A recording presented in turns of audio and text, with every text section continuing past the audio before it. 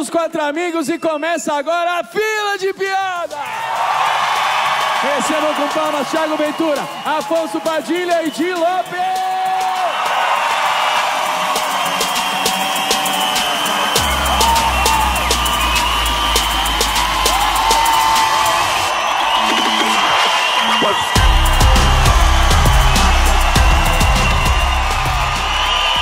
É isso! Senhoras senhores, sejam muito bem-vindos ao show do Quatro Amigos. Começa agora a fila de piadas e o tema de hoje é vida.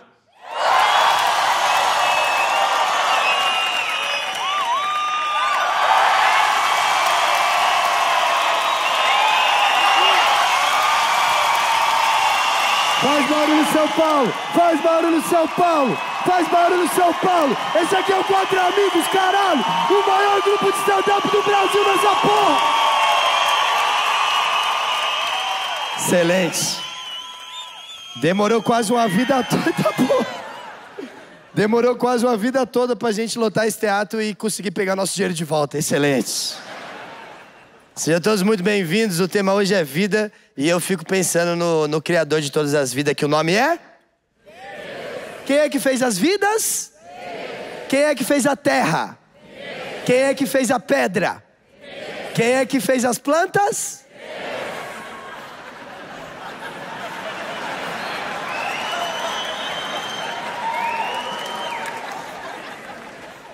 Se Deus demorou seis dias para construir o universo, é porque para dar vida a tudo, ele precisava de um tempo bom para fazer tentativa e erro, sim ou não? Sim. Então é certo avisar e informar que Deus teve que provar tudo para mandar perfeito pra gente, sim ou não?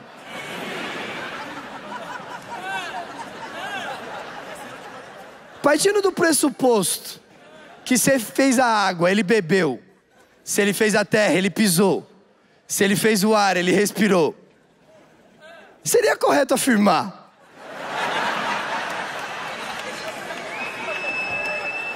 Que ele fez a maconha para competir com o manjericão? É para dar vida com criatividade. Só que as pessoas têm uma, uma, uma coisa muito negativa da maconha. E eu acho que, como qualquer uma outra planta, pode ser visto de uma forma boa. Inclusive, eu acho que para dar vida aos animais, é bem capaz que Deus esteja num clima mais criativo, tá ligado? Porque, para pra pensar, o coelho tem branco, preto, malhado, todas as cores. Duas orelhas boas porque ele é preso, então ele precisa escutar de onde tá vindo os bagulho. Dois dentão bom para comer cenoura verdadeira. Aí Deus entrou no clima. Olho vermelho.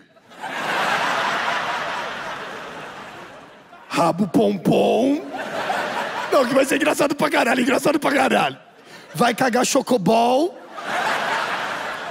E vai gozar em 14 segundos. Você tem noção que o coelho goza em 14 segundos? 14 segundos cabe no story. No story ele tá fudendo e no outro ele tá falando. Quer saber mais sobre o meu curso? Arrasta pra cima.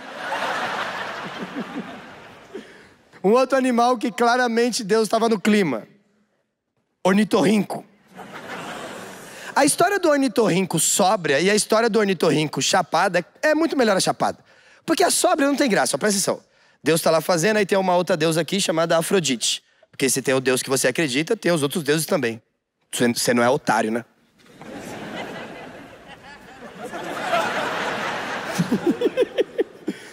Aí eu tô Deus, sou sóbrio, pum, caralho, não, vou fazer um bichão top agora, toma. Ornitorrinco, excelente. E aí Afrodite, se liga ornitorrinco. Aí Afrodite, nossa, ornitorras, que maneiro. Só isso? Só. Olha que história ruim. O arco dramático é péssimo. Não, o personagem tá ruim, as piadas tá péssima. Agora, olha a mesma versão, só que na brisa. Essa que eu fiz tá forte, hein? Aí, vou fazer o bicho todo misturado, tá ligado? Cabeça de um, corpo de outro. Cara! Salve Dite! Se liga nesse pato que mama. Ó o bagulho. Caralho! Bebe leite, caga ovo. Nem faz sentido. Outro animal que eu acho muito esquisito que Deus deu a vida: canguru. Claramente ele estava no clima. O canguru é um rato de 1,80m que usa pochete e luta boxe, gente, pelo amor de Deus. Pelo amor de Deus, o bicho luta boxe. Deve ter vários cangurus que o apelido é Whindersson. O bicho luta boxe. Meu Deus do céu, já parou pra pensar que o canguru é o único bicho que se você bater o pé, você não sabe qual é a reação dele? Por exemplo, passa o cachorro, você bate o pé, o cachorro pode latir, que mais? Correr, te morder, chupar o próprio pau. Olha as opções. Que eu nunca entendi, que do nada o cachorro fala... Nhá. Aí, posso falar um bagulho pra vocês? O canguru é o único bicho, mano, se ele estiver passando, você bater o pé, ele fica de um jeito completamente esquisito, tá ligado, mano? Ele é arisco. Imagina, passa um gato, você bate o pé, o gato anda, porque ele não te conhece, ele caga pra você. Bate o pé no pombo, o pombo faz um. Agora o canguru, você fala, canguru, ele fala, ei, viado, não viaja não, hein? Tem um vídeo na internet, digita na internet depois. Homem dá soco na cara de canguru. Olha o que aconteceu na vida desse canguru. O canguru tava de boa na floresta fazendo as compras do mês, tá ligado, mano? Aí do nada tá passando na picape um maluco e um cachorro. O cachorro falou: ô, ô, ô, para o carro aí, que eu vou ali arrumar uma treta com aquele canguru. Aí abriu a porta, aí o cachorro, vem canguru pra porrada, vem, vem, vem, vem, vem, vem, vem, E aí o canguru, que é do box, pegou o cachorro no Gil, tá ligado, mano? Um, cach um cachorro tomou um mata-leão do canguru. Três animais na mesma frase. E aí o, o, ser humano, que é nós na história, desceu e falou: Cara, meu cachorro tá tomando um pau. Vou lá dar uma atenção, certo? Salve cangas. Então, tem condições de soltar meu cachorro aí? E aí o canguru com 200 de trapézio falou: Não. Ele que veio pra cima. Aí do nada o canguru meio que deu uma soltada no cachorro, olhou pra nós, que é ser humano, e fez aqui, ó. Claramente o canguru acha que só ele dá soco. Meu irmão, a nossa espécie chegou pro canguru e falou: Quê? Quê? Oxi, oxi, oxi, oxi. Tá vindo pra cima? Pum! Deu um socão na cara do canguru que ele ficou chateadíssimo. Você via só o bichinho fazendo assim, ó. Quando ele voltou, o cachorro já tava na picape indo embora. E aí eu fico pensando, cara, imagina o canguru achar que só ele da espécie do planeta dá soco, tomar um soco e ter que voltar para casa para contar pros amigos dele. Imagina ele voltando. Começa a tirar as compras de todo da, da bolsa. Falou, cara, rapaziada, você não sabe o que aconteceu ali na floresta. Tava fazendo compra, sabe que eu trombei? Will Smith.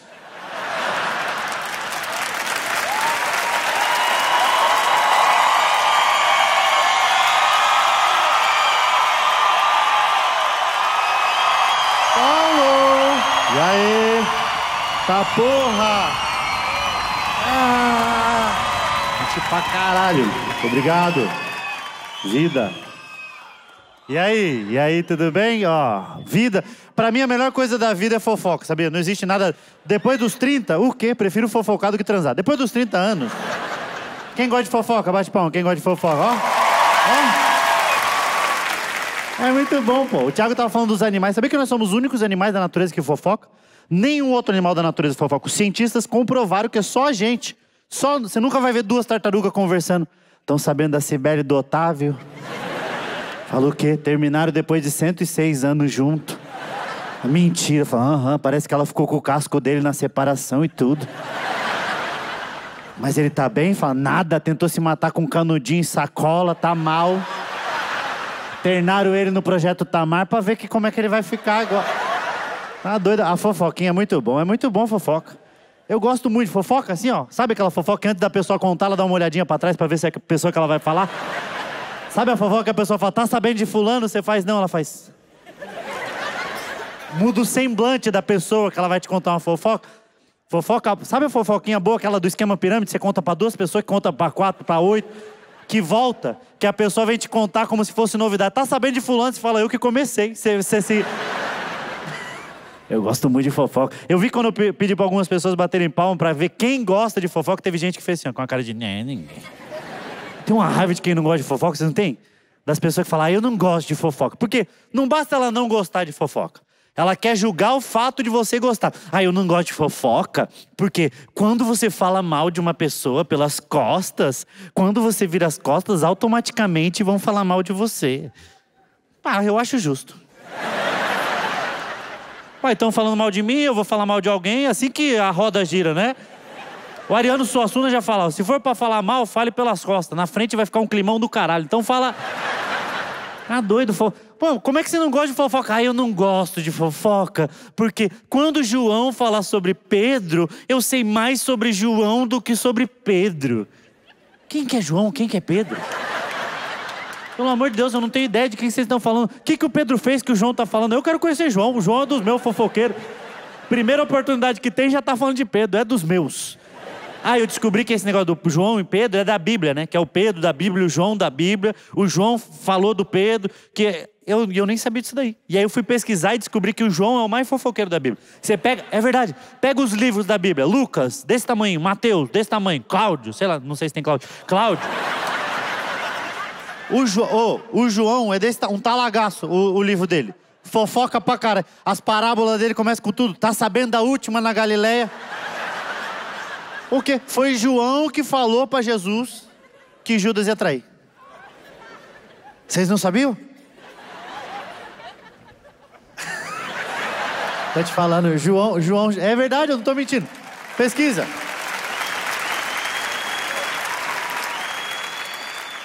João, João, chamou, João chamou Jesus no canto e fez: Jesus.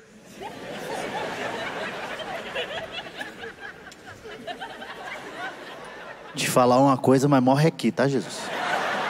Morre, morre, tá? Não é negócio de morre e volta daqui três dias. Morre, morre. Vão te trair, hein? Jesus fez o quê? Fez, vão te trair. Eu tô te falando porque eu sou, eu sou teu amigo. Se eu tô te falando, ó, abre teu olho. Que você é onisciente, onisciente, onisciente, não sei o que lá. Não é não, vão te trair. Jesus falou, quem, irmão? Falou, não vou falar, que também é foda, né? Jesus falou, fala, ele falou, vou falar, mas ó, pelo amor de seu pai, tá? Se você falar por aí que foi eu que contei, eu nego três vezes que fui eu, ó. É Judas, é Judas, abre teu olho que é Judas. Falou para Jesus. Jesus fofoqueiro igual nós. Na Santa Ceia não aguentou, já jogou no bigode. Tô sabendo que vão me trair aqui nessa mesa. Falo mesmo, falo mesmo, não foi meu pai que contou, não. Pega o, pega o quadro da Santa Ceia. Pega o quadro. É Jesus falando, Judas com a cara de puta que pariu, fui descoberto. João num cantinho. João tá aqui no cantinho, assim, com a cara de. Pô, nada a ver também se Jesus fala tudo pra. Quando falou que espalhava a palavra, eu não sabia que era desse jeito que. Não, eu gosto. Tá doido? Eu sou, eu sou fofoco sexual, eu acho. Eu gosto muito de fofoca. Eu acho que deve existir uma categoria de fofoca sexual, que é a pessoa que sente tesão em fofoca. Sabe o que? Quando uma pessoa tá te contando uma fofoca tão boa que você fala fra... frases que você falaria durante o sexo. Não para, não para. Ah, mentira. Hum, safada, safada. Deve ter, pô. Tem fof... Deve ter fofoca sexual. Ó, você tem o gastrosexual, que é a pessoa que sente tesão em ver a outra pessoa cozinhando. Existe isso, sabia? Que a pessoa bate punheta pro Masterchef. Ela tem tesão no. Ela fala, fala Tom Perro, fala Tom Perro, fala. Tá faltando Tom Perro, ah, que leite. Então, você tem fofoca sexual, você tem gasto sexual, você tem o demissexual, que é a pessoa que só transa com. A, diz que só consegue transar com a pessoa que ela se sente atraída. Já viu essa pessoa? Que ela fala, sou demissexual, eu só consigo ficar com alguém que eu me sinto atraído. Fala, então, mas todo mundo é assim, né? Senão é estupro, caralho. Se você tá ficando com uma pessoa que você não sente atraído, é, é prostituição, cobra no final. Quando terminar, você.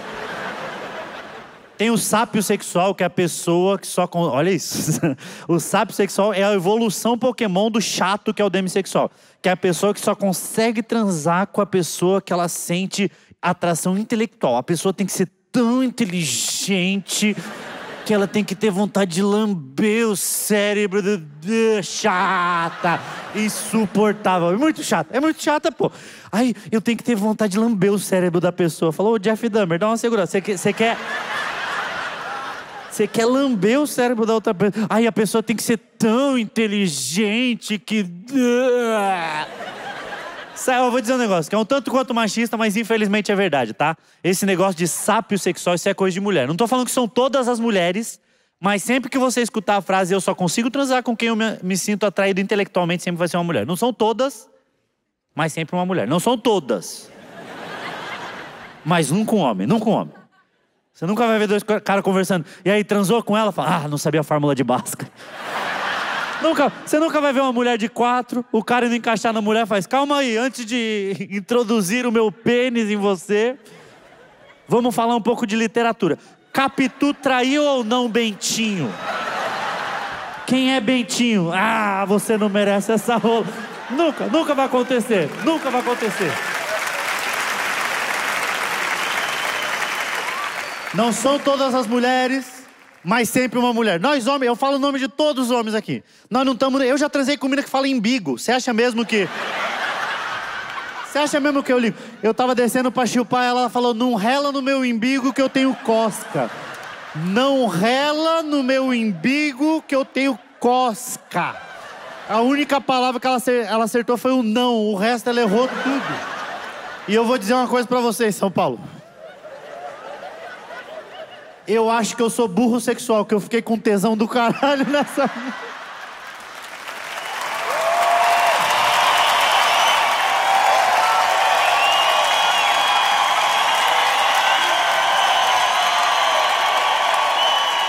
E aí, aí, São Paulo? Olha só, não tinha outra maneira para começar isso aqui se não fosse com uma charada. Estão prontas? Qual a diferença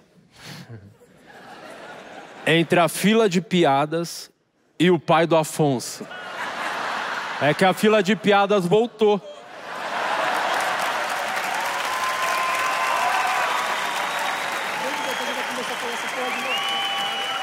A gente parou grande parte por causa disso. Mas não seria fila de piadas se não começasse desse jeito, né? Ai, que saudade que eu tava de fazer essas piadas, inclusive. A real que a vida tem sido muito generosa com nós quatro amigos. Muita coisa foda. A gente começou esse ano fazendo uma turnê internacional, senhoras e senhores. Fomos para Portugal fazer show. Foda, né? E dessa vez foi a melhor turnê de todas, porque nós quatro amigos fomos para Portugal de classe executiva. Foda, né? Pô, porque as pessoas olham para nós e falam, nem fudendo. Esses foram de cometa para Portugal, com certeza. Porque a gente não tem o perfil da classe executiva. Eu descobri isso no check-in, porque eu fui barrado, tá gente tem direito. A... Não sei se alguém aqui já viajou de classe executiva. Olha pra que eu tô perguntando. Esquece essa parte.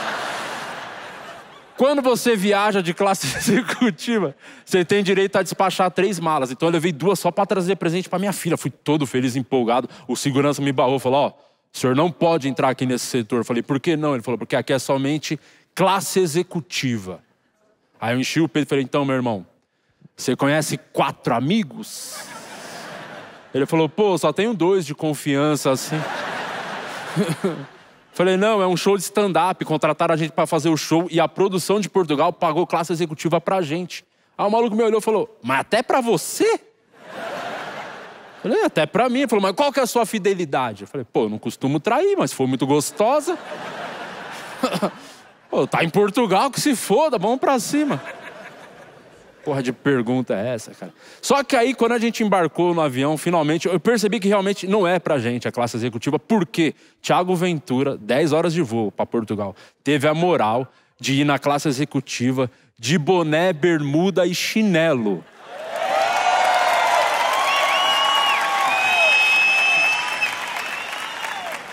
Puta cara de quem rouba Coca-Cola no Graal, tá ligado? Aliás, vocês já fizeram isso? É muito fácil. Tem que fazer o seguinte: quando você chegar no Graal, quando você for fazer o seu prato para pesar, é o erro que muitos cometem na hora de passar a comanda, as pessoas já pegam a coca ali. Nunca faça isso. Só passe o seu prato. Por quê? Do outro lado, onde as pessoas comem, todo grau é assim. Lá onde tem as mesas, tem sempre uma geladeira dando sopa. E é nesse momento que você tem que pegar a Coca-Cola. Como se nada tivesse acontecido. pega a coca, senta na mesa, come, toma tudo, acabou, joga tudo no lixo e vai embora. Para mais dicas de roubo, me siga no Instagram ou de Lopes.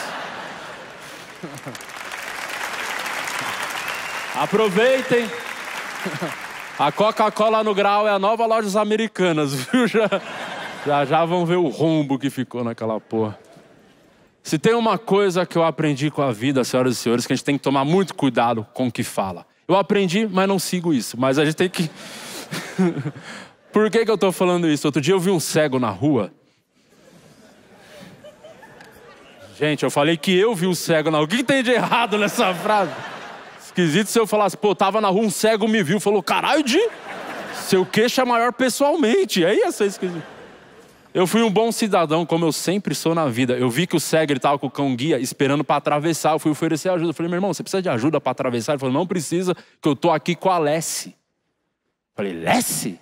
Eu falei, é Lessie, minha cão guia. Eu falei, o nome dela é Lessie? Ele falou, é por quê? Eu falei, é meio bosta esse nome.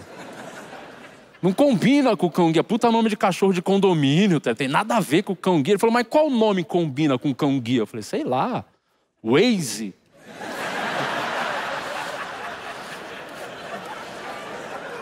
Falta criatividade para as pessoas também. Tem que ter mais criatividade na vida. Um exemplo disso, tem um amigo cadeirante. O nome dele é Wilson.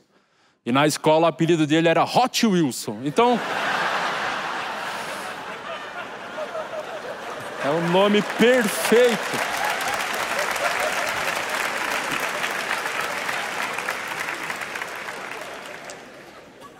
Hot Wheels. Pior aluno da educação física, muito ruim.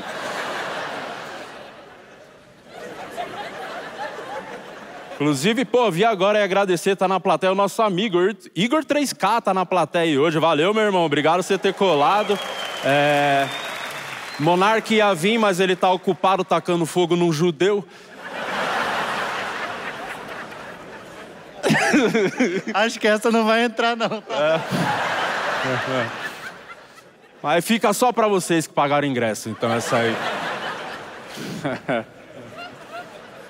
Tem que tomar cuidado com o que fala. Um grande exemplo disso é o Neymar, que no final do ano passado, ali perto da Copa, Neymar teve a brilhante ideia, é, nas eleições mais polarizadas da história, de declarar o voto dele. Aí metade do país ficou puta com o Neymar, outra metade gostou, só que aí começou a Copa, ele se machucou, lembra disso? E aí, o bizarro isso, o fanatismo, né? as pessoas, tinha gente comemorando a contusão do cara. Tá? Primeiro, eu acho tudo isso muito errado. Primeiro de tudo, você levar a sério uma coisa que o Neymar tá falando, cara. É o Neymar, caralho.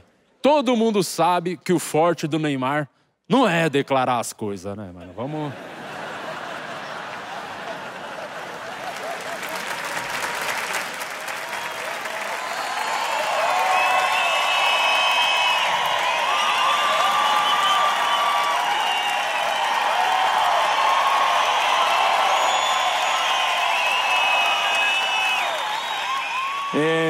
Vida Vida, eu queria ressaltar uma parada sobre a comédia, porque a comédia mudou minha vida. Uh, sinceramente, senhoras e senhores, de nós quatro, eu era o cara mais inseguro.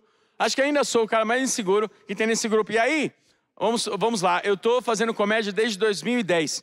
E uma, uh, até, obviamente, ser só comediante, eu trabalhava numa empresa CLT, a porra toda. E o Thiago falava pra mim: larga essa porra! Toma coragem, filha da puta! E vai trabalhar com comédia. Márcio, você é bom. E eu nunca fui confiante, sim, seguro pra caralho. Só que a situação na empresa estava uma bosta, eu larguei e falei, foda-se, eu vou ser comediante, yeah! E aí larguei. Primeiro show que eu fui fazer, só como comediante na minha vida, o plano A, foi um show do Thiago. É um show do Thiago Tiano Tabuão. O Thiago, ele é o, é o presidente do Tabuão, né? E é, ele manda lá. E aí era só gente do Tabuão pra ver ele. E São eu, eu, eu, vamos lá, eu, eu tenho superior completo. Como é que eu agrado? Tá entendendo? Ué, mas não é, tem que falar, pô. O pessoal da tua quebrada não gosta de quem fala direito, pô. Aí eu falei, será que eu chego no show falando, e aí, manos, pá, eu não sei o que eu falo. Yeah! E eu inseguro pra cara, Thiago, vai lá que você vai arrebentar. E todo mundo tinha ido lá pra ver ele, pra ver ele.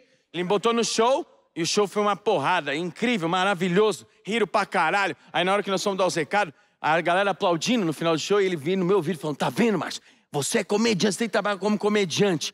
E aí, senhoras e senhores, eu levo isso pro resto da minha vida. Pro resto da minha vida. E o que acontece é que dali um ano depois, nós formamos esse grupo.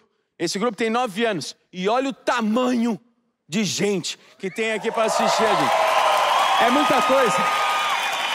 É muita gente. Olha o que tornou isso. Olha o que tornou, ah, mudou muito. Na verdade, mudou muitas coisas. A única coisa que não mudou é que a plateia continua vindo só para assistir ele. Isso não mudou. Não mudou. Não mudou. Não é mentira o caralho. Vai tomar no cu. Mentira o caralho. Mentira, pô. Eu falei isso na sessão anterior. Eu falei isso na sessão anterior. Falou, a moça levantou, daí que ela tava, ela falou: Mentira! Eu vim para ver o Afonso. Olha as coisas que eu tenho que ouvir. Eu tô cansado de ser humilhado nesse grupo. Humilhado. Humilhado. Calma! Não tenho calma, eu tô estressado, desgraça do cara. Mas vou falar o lance da vida. A gente ganha os dois, é isso, ganha igual. Tá me chamando de vida, moça? Que pode chamar de vida? Você me respeita. Não, mas é o seguinte, falando em vida, moça, acabou minha vida. Você falou comigo agora, acabou minha vida, eu lembrei que eu vou casar. A minha vida acabou, é. Acabou. É, não, mas eu acho legal porque assim, eu tô me divertindo com ela. É uma pessoa muito maneira. Só que esses dias ela me assustou, porque foi assim, ela tava comigo na casa dela. E ela chegou para mim e falou assim: amor, pelo amor de Deus, amor de Deus, me lembra quando formos no shopping que a gente tem que ir numa loja comprar um rímel, porque meu rímel tá acabando e eu não vivo sem o rímel. Eu falei, caralho, eu achei que você não vivia sem comer sem beber, sem respirar, não vive sem um rim. E me assustou. E eu guardei aquilo para mim, eu falei, tá bom, não, lembro com certeza. Saí da casa dela diretamente, fui no shopping, nem esperei. Nem esperei, eu amo essa mulher. Como é que eu, eu vou deixar ela morrer porque eu não rime, eu não, não posso. Ela vai sobreviver. Eu vou lá, eu saí do meu carro no estacionamento, eu falei, eu vim aqui destemido, eu vou comprar esse rímel, é um rímel. Como é que eu não tenho capacidade de comprar um rímel superior completo? Porra, estou estudando italiano. Não é possível que eu não tenho capacidade de comprar um rímel. Eu vou lá, au, au. Entrei no shopping já chutando a porta. Tchá, rímel. Aí veio uma moça na minha direção, no, Márcio. Eu falei, sou eu. Ela falou, Márcio, que legal, podemos tirar uma foto? Podemos. Eu estava todo nessa fala, eu era ali o líder. Ah! tirar uma foto. Eu falei, moça, aproveitando que você aqui tá me, me, me, me encontrou, eu, moça, eu posso pedir de ajuda? Moça, eu preciso comprar um rímel. Ela, o que aconteceu? Minha, minha noiva, acabando o rímel dela, meu Deus! Ela pode morrer. Eu falei, ela pode morrer. Caso de vida ou morte, eu preciso saber onde tem um rímel. Ela, claro, eu vou te ajudar. Tem muita loja. Eu falei, moça, tem muita loja, mas eu quero a melhor, a melhor das lojas. Ela falou, a melhor é essa, e falou o nome da loja. E antes de eu contar para todos vocês, homens, prestem muita atenção. Homens, mulher, foda-se. Homens, prestem atenção. Quando você passar na frente dessa loja com a sua digníssima, ficante, namorada, noiva, esposa, que seja, de mão dada com ela, passou na frente dessa loja, ela olhar para dentro dessa loja, solte levemente a mão dela, só levemente, e corra como se não houvesse amanhã. Não dá tchau, não se despede, não explica nada. Corra, faça que nem Scar falou pro Simba: fuja. E não volte nunca mais. Só vai.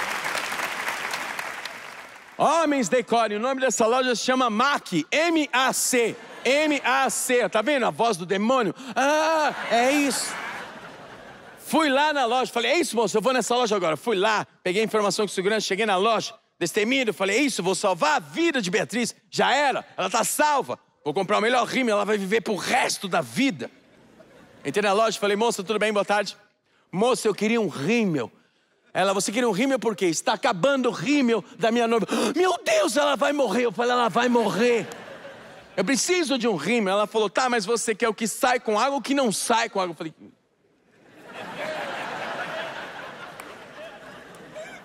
Moça, o que sai com água, pelo amor de Deus. Se não sai com água, sai com o quê?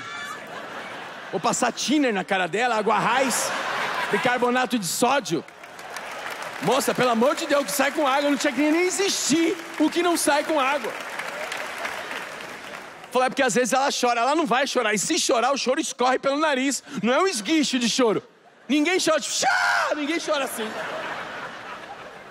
Aí ela me deu o que sai com água. Peguei o rímel que sai com água, fui lá no caixa. Moça, é só aqui, ó, pô, vim pagar o rímel. Só o rímel, só o rímel. Débito ou crédito? Falei, débito, pô, eu sou o rímel, pô, eu um rímel. Débito. Aproximação, aproximação, não vai nem pedir senha, é um rímel, tá doido? Tá bom, senhor, 139,90. Falei, não, moço, não entendeu, não. É só o rímel. Aquela moça ainda vai continuar trabalhando aqui. Falei, exatamente, só o rímel 139. Isso é um desrespeito, moça.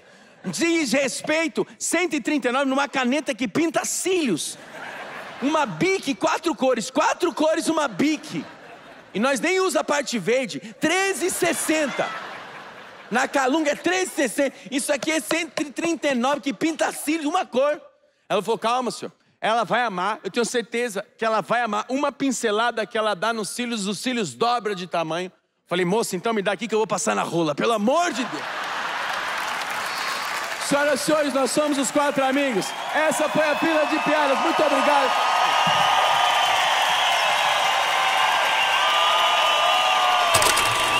Mais uma fila, claro, com a participação, é claro, dele, o grande gênio, Fábio Rabin. Nosso queridíssimo Fábio Rabin! O mestre Fábio Rabin! O grande gênio, nosso ídolo, Fábio Rabin!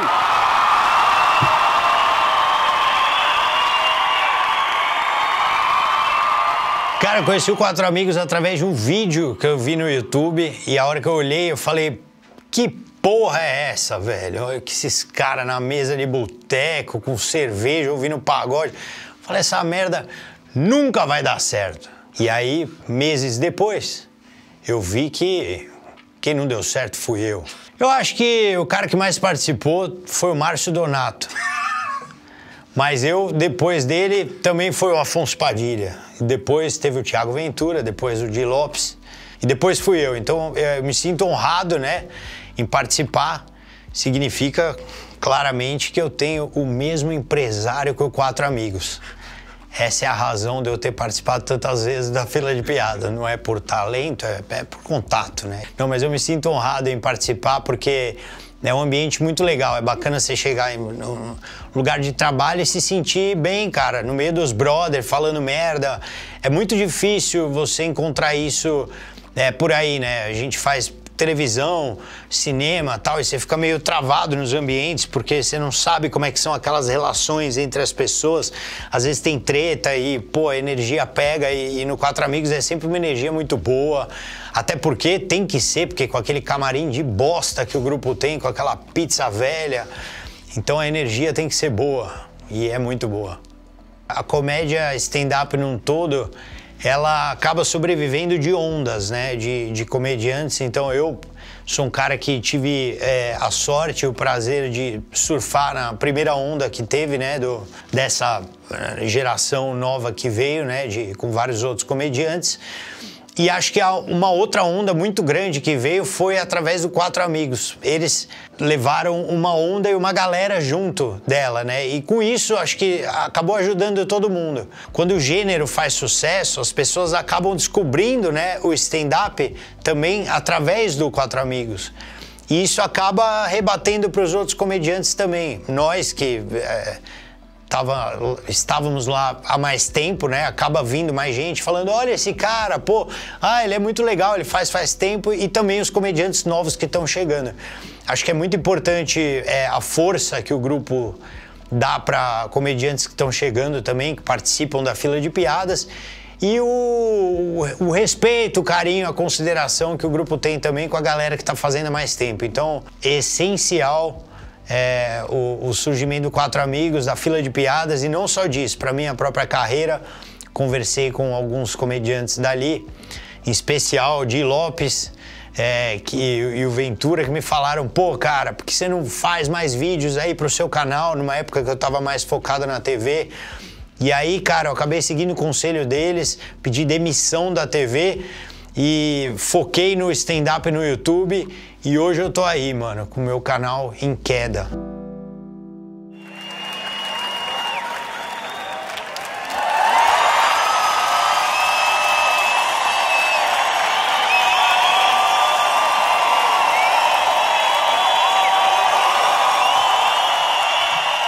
Sejam bem-vindos ao Quatro Amigos e começa agora a fila de piadas!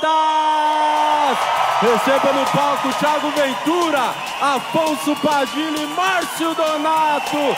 Faz barulho, Vibra São Paulo!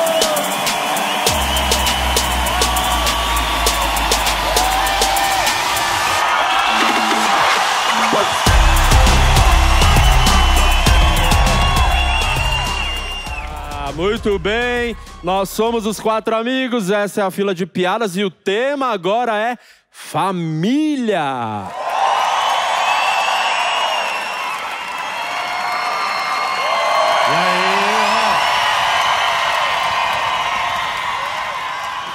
Família. Tô pe- Eu não sei porque colocaram eu, né? Referência de família. Achei um tanto quanto irônico da parte deles. Não, eu, eu fui criado só pela minha mãe. Eu tô pensando em ser, ser pai, sabia? Recentemente eu tô com 34 anos, a sociedade começou a cobrar, então eu tenho pensado muito sobre isso. E aí eu tenho pensado o como que eu vou ser de pai, porque eu não tive muito, como que posso dizer, de referência. Então eu não sei exatamente como é ser. Um amigo meu falou, Afonso, para você ser um bom pai, basta você ser um pai melhor que o seu foi. Falei, caralho, tá muito fácil, é só eu ficar. Pronto. Melhor pai de todos. Não, quando eu tiver um filho, com certeza eu vou fazer a piada. Quer ver eu fazer igual o seu avô? Eu vou ficar toda hora fazendo isso. Fala, vou com o teu avô, vou com o teu avô. Ah, cara, não, não chora, não chora. Eu vou embora de verdade se você chorar. Não. Na verdade, eu acho que ser pai é uma responsabilidade muito grande. Eu tenho pensado sobre isso. Tenho amigos que, que, que é pai, muda a vida drasticamente. Então, não sei se eu estou preparado para ser pai. Mas eu acho que eu estou preparado para ser padrasto. Padrasto, eu acho que eu sou, eu tô preparado. Por quê? Padrasto é muito mais fácil, pô. É só você comer uma mãe. É só você comer uma mãe. pra que, que eu vou ser pai se tem um monte de seminovo? Pra que, que eu vou fazer um do zero? Ué, chama reciclagem. Por, por que, que eu, eu vou. Gente, é muito melhor ser padrasto, é muito menos responsabilidade. Porque, por exemplo, o, o pai, ele tem um negócio que ele traumatiza. O padrasto não traumatiza.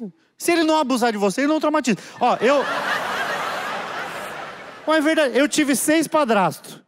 Nunca fiz nenhuma piada sobre ele. Um pai, olha o tanto de material que eu tenho. Tá entendendo? Porque quando, vo- quando você é padrasto, não tem tanta responsabilidade. Você tá ali, nem era pra você estar. Você fala, ó, tô aqui, nem devia estar aqui, hein? ó. Ah. Não tem porquê, não tem porquê eu fazer um 100% meu. Que eu, para pra pensar, 50% na verdade.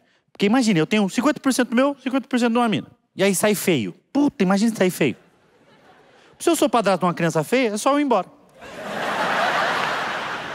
Agora, ter filho feio, deve ser muito ruim ter filho feio. Tem gente na plateia que tem filho feio, sabe o que eu tô falando. Tem gente aqui agora que tá assim, nossa, é ruim mesmo, é ruim ter. Eu não tô falando criança feia, porque a criança até 10 anos, quando é feia, igual o pug, nós faz, ah, a gente acha bonitinho. Tô falando 13, 14 anos. Sabe 13, 14? Que é um adolescente, a criança feia, assim, ô pai, ô pai. Você, "Ah, para de chamar de pai. As pessoas em volta, é seu filho, ele é teu filho. Fala, não, eu não. Não sei se vale a pena. Sabia que podem trocar o seu filho na maternidade? Sabia que de cada 6 mil crianças que nascem, uma é trocada na maternidade? Isso é muito foda essa estatística. Que pode ser que aqui, aqui tem três, quase 4 mil pessoas. Pode ser que aqui tem alguém. Vocês nunca tinham pensado sobre isso. A partir de agora, pode ser que tenha alguém aqui que era para ser rico, mas alguém de Osasco pegou ele na maternidade. Já parou para pensar isso? Isso deve ser muito triste. Que era pra você vir numa família rica, do nada. Não, esse bagulho de família é foda, porque você não escolhe a família que você tá. Então, se você foi trocado, você escolhe menos ainda. Você só nasce e de repente você vai vendo sua família e fala: Meu Deus, eu tô na pior de todas. Você começa a olhar em volta e você herda coisas que você já nasce devendo, às vezes. Devendo tanto financeiro quanto, tipo, genético. Ó, calvície. Veio do meu pai. Meu pai falou, vou embora, mas vou deixar calvície pra você. Se sua mãe bebe e teu pai usa droga, você já vai nascer meio doidinho. Você já vai nascer meio doidinho. Você nasce com um pé na Cracolândia e outro no bar. Você nasce mais ou menos. Então você já nasce. Às vezes você tá numa família, você tem que aturar ela e é isso. Agora eu tenho uma pergunta pra vocês. Se você pudesse trocar de família, se você pudesse trocar de família, quem aqui trocaria? Bate palma. Se pudesse trocar de família, quem aqui trocaria? Bate palma. Pouca gente, pouca gente é. E o Márcio, o Márcio. Se eu perguntar a mesma coisa, dia 26, pós-Natal, pós-reunião com família, ia ser 50% da plateia falando: Meu Deus, me leva, me leva da família. dele." Quem aqui trocaria de família? Você vai sair da sua família e vai pra outra. Quem trocaria? Bate palma, eu quero ouvir de verdade. Quem? Ó, já aumentou, já aumentou. Márcio, já entendemos que você trocaria também. Tá. Tá, vocês que bateram palma, vocês têm que entender o seguinte: não sei se vocês entenderam igual os outros. Você vai trocar de família, mas é randômico, tá? Não vai ser tipo, eu escolho a família. Ah, eu vou pra família do Jeff Bezos. Não. O bagulho é. Lembra do Domingo Legal? Você aceita trocar. Uma mãe que só te critica, um pai que não te criou direito, um irmão meio pau no cu. Pela família da Suzane von Richthofen. Sim, é. É isso, é isso. É roleta, filho. É roleta. Vai, vai ter a família muito boa e a família do Márcio. Vai ter tipo isso. Mas vamos iniciar mais. Quem aqui trocaria só a mãe? Bate palma. Quem trocaria só a mãe? Bate palma. Tem umas quatro pessoas, é. Mas é que. é que mãe, mesmo se ela for pau no cu, ainda é mãe, né? A gente meio. Ah, tá, me gerou, é isso. Tá bom, tá bom, tá bom. Quem trocaria só o pai? Bate palma, só o pai. Tem até grito, tem até grito, tá? Minha irmã, você é minha irmã, moço? Você que gritou? Quem trocaria só os irmãos? Bate palma, só os irmãos. Caralho, os irmãos têm tem, tem menos popula- popularidade de qualquer outra pessoa. Sairia na primeira semana do BBB da família, eram os irmãos. Eu vou votar no meu irmão, questão de afinidade. Eu vou dizer, eu não trocaria, eu não trocaria ninguém da minha família. Eu não trocaria minha mãe, óbvio, que é a melhor pessoa que eu conheço disparado. Eu não trocaria os meus irmãos, apesar de ser picareta e já ter me passado a perna algumas vezes. Já tiraram o meu no meu nome, então é melhor eu já estar com alguém que já sujou meu nome uma vez do que alguém que pode sujar meu nome. Eu não trocaria nem meu pai, São Paulo. Nem meu pai. É. Por essa vocês não esperavam, né? Não trocaria. Já me rendeu muito dinheiro, não vale a pena eu trocar.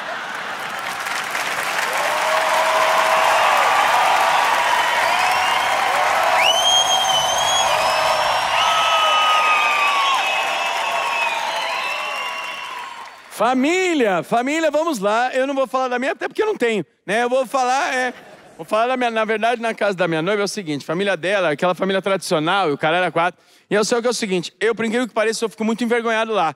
Né? Eu sou envergonhado. Você tá na casa de outra pessoa, de outras pessoas e tal. E assim, ah, sempre que eu tô lá, eu fico meio pá fechado. Aí tinha um dia jantando, jantando e fico mais fechado ainda, porque tá jantando, né? Porque eu gosto, eu gosto de carregar, eu quero comer, pô, eu gosto de ter vontade, quero pegar um bagulho ali e tal. E aí, jantando na casa dela, eu, tem um bifinho maneiro ali que você não dá pra você falar, oba, não, não dá, né? Você fica ali meio, caralho, aquele bifinho maneiro, meu sogro vai lá e crau, eu falo, olha lá, desgraça, diz. Se fosse na minha casa, já tinha, foda-se, é meu, é minha casa. Mas na casa dele tem que ficar ele lá. Aí a disposição da mesa é o seguinte, eu envergonhadaço, comendo envergonhadaço. Isso já há dois anos com Beatriz. Ali eu envergonhado. Aí Beatriz aqui do meu lado, né? Tá aqui, imagina a mesa aqui, Beatriz na ponta da mesa, tal, aqui é pagar a conta. Eu aqui, Beatriz, sogro, sogra e a, a sobrinha da Beatriz aqui do lado da, da, da minha sogra. A minha cunhada tinha deixado ela lá, que ela foi fazer algum negócio lá, da- enfim, com o namorado, enfim. E aí, é, foi, sei lá, foi fazer outra sobrinha, não sei o que eles foram fazer. Aí, eu tava ali de boa, de boa, envergonhado como sempre e tal. Gente, Beatriz sabe. Só que Beatriz ela tem um sério problema, que ela ama, ama me zoar. Isso que eu me apaixonei nela. Só que tem hora que é foda. Porque ela não tem limite, ela não tem limite. Município tem limite, ela, ela não tem. E aí, ela, e aí ela me viu já meio envergonhado. E aí ela tá um maior silêncio, todo mundo comendo, silêncio. Do nada a Beatriz solta assim, nossa gente, vocês não sabem. O Márcio tem um fogo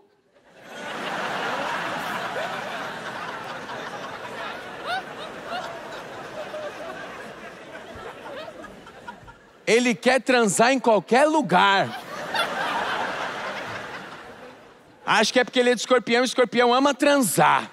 Essa foi a justificativa dela.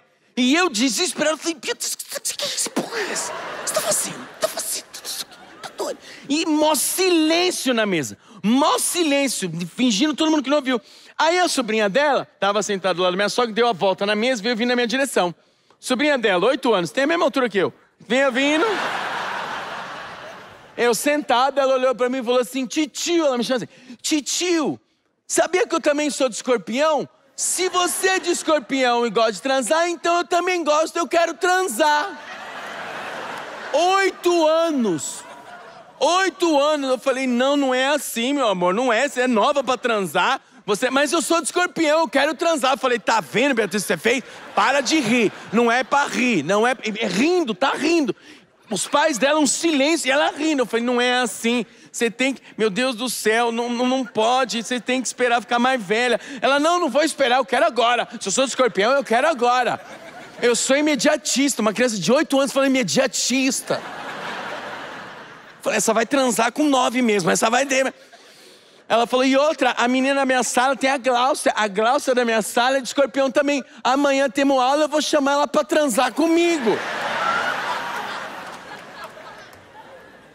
Falei, meu amor, deixa eu te explicar um negócio. Não é assim que funcionam as coisas. Deixa eu te explicar. Você tem que ficar mais velha. E não é assim escolher só uma pessoa que, pá, é ela e já era. Você tem que gostar da pessoa, tem que ter uma afinidade. Vou te explicar. Vamos lá. Que nem titia. Eu e titia estamos noivos, a gente decidiu ficar junto pro resto da vida. E aí eu escolho ela para transar comigo pro resto da vida. É exatamente isso. Então eu escolhi ela para transar. Aí meu sogro olhou e falou: vocês transam? Falei, não, é, é, a gente vai esperar casar. Esperar casar, depois de casar, né? E Beatriz olhando falando, não. Eu falei, não é, Beatriz. Eu, oh, meu Deus do céu. Ela tá vindo, titio, vocês, vocês transam. Aí eu falei, mas, mas, titio, ela não é de escorpião. Por que, que ela não é de escorpião? Eu falei, não é, menina, você não precisa escolher alguém de escorpião pra. pra oh, meu Deus do céu. Falou, mas titio, ela é virgem. Meu sogro falou, ela é virgem. Eu falei, meu Deus do céu. Só um segundo, dá um tempo, come aí. Seguinte, deixa eu te falar um negócio. Não precisa escolher o signo para falar. Pra, pra, não é qualquer signo, dá para transar qualquer signo. Não tem essa regra. Ela falou: Meu Deus, então eu posso transar com a sala toda. Olha as ideias. Falei: Não, caralho, não é a sala toda, pô. Meu Deus, para de rir, Beatriz. Tu tá, tu tá, tu tá criando um monstro. E, a, e, a, e, aí a sobrinha dela sai correndo pela casa falando: Eu vou transar com a sala toda. Yeah! Falei: Olha o que você fez. Olha o que você fez, Beatriz. A minha tá querendo transar com a sala toda. Aí foram lá, minha sogra foi lá, calma ela tal, segurou. E eu num puta de um constrangimento do caralho. Pá, conclusão: dia seguinte, vem a minha cunhada. Nós estávamos tudo na casa da minha sogra de novo e minha cunhada foi lá também. Minha cunhada vem com um bilhete desse tamanho da professora dela desse tamanho, anexo à folha do exercício. A folha do exercício estava exatamente assim. A primeira pergunta é ela: O que você quer fazer quando você crescer? letra de mão em lápis, bonitinho, letra de criança, estava assim: Eu quero transar com todo mundo.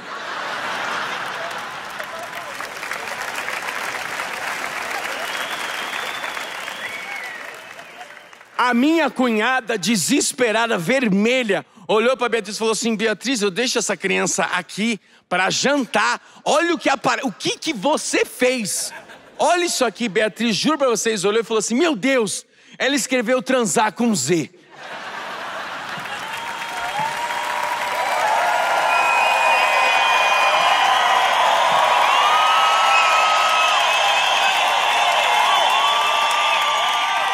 Tá porra!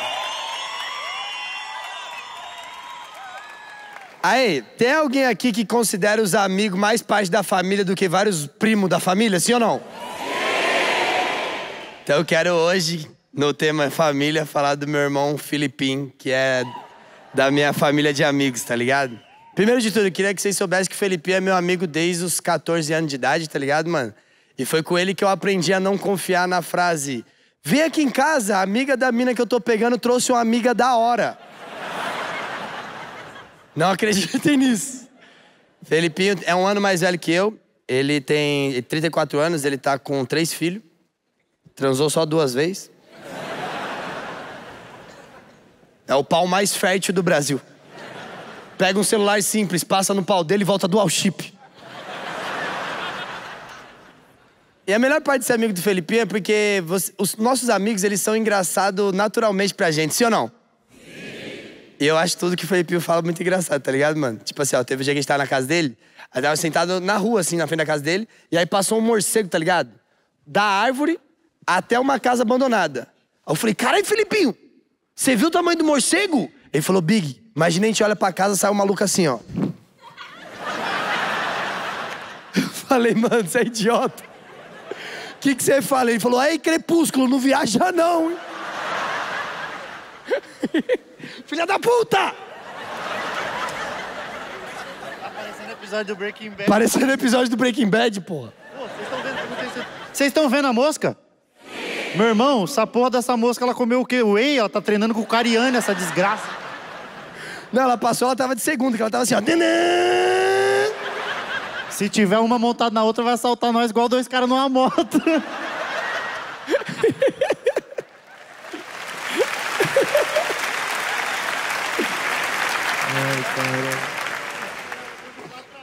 Será que ela é fã? Eu acho que ela comprou. Aí voltou a fila. Não posso perder. Ó o Afonso, ó o Afonso, ó o Afonso, ó o Afonso, ó o Afonso, ó o Afonso, ó o Afonso. Até a mosca voltou e o.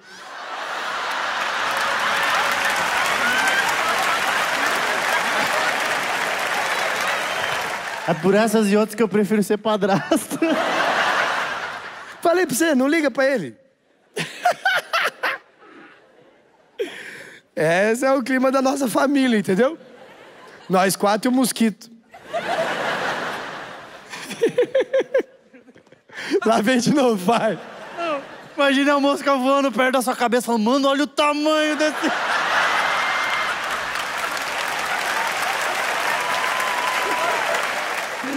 Permissão para pousar. Estou sobrevoando Guarulhos.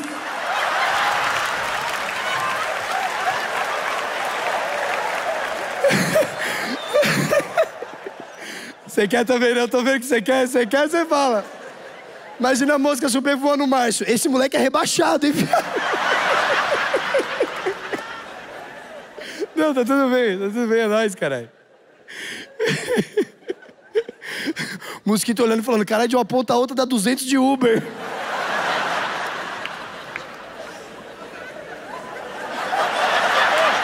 Peraí, pensei em uma.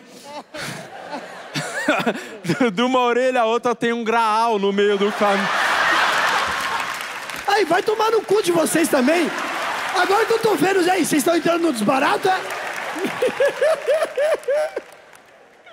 Olha o Márcio lá atrás. Eu não vou fazer nenhuma piada. Eu já fiz minha parte. Eu não vou lá, não. Nada visual, amigo, nada visual, amigo.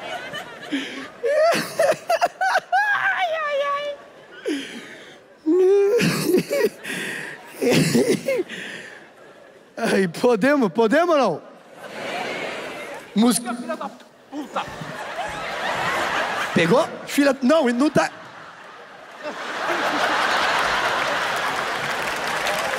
Não, tô no episódio do Chaves.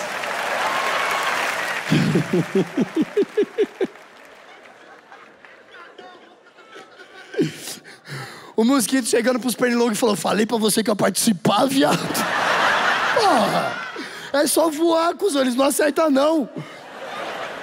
Olha lá, do- dos três usa óculos e o outro a cabeça é gigante.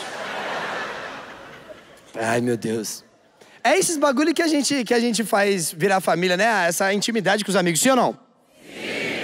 Felipe, o Felipe é um moleque que, tipo assim, ó, qualquer coisa que ele fala eu já acho naturalmente engraçado. Como, por exemplo, teve um dia, agora ele tá viajando pra caralho comigo pra fazer os shows, tá ligado, mano? E aí, porque há três anos atrás eu tinha perdido ele, tá ligado, pra igreja. Aí ele encontrou Jesus e voltou. e aí, esses dias a gente foi pra. A gente tem. é, Eu e o Afonso, a gente tem, junto com o Nando e o, Bart, o Feta, a gente tem um Porto Alegre Comedy Club. A gente foi pro Rio Grande do Sul fazer show lá e o Felipe foi comigo. Aí ele nunca tinha andado, tipo, de avião a ponto de se sentir confortável, tá ligado? Aí deixei ele na janela. Só pra vocês verem como é que o Felipe é engraçado, tá, meus irmãos? O Felipe tá aqui. Aí o Felipe começou a fazer os comentários assim, ó, sentado, né? Aí eu falei, Felipe, tá tudo bem? Ele, de boa, caralho. Oxe.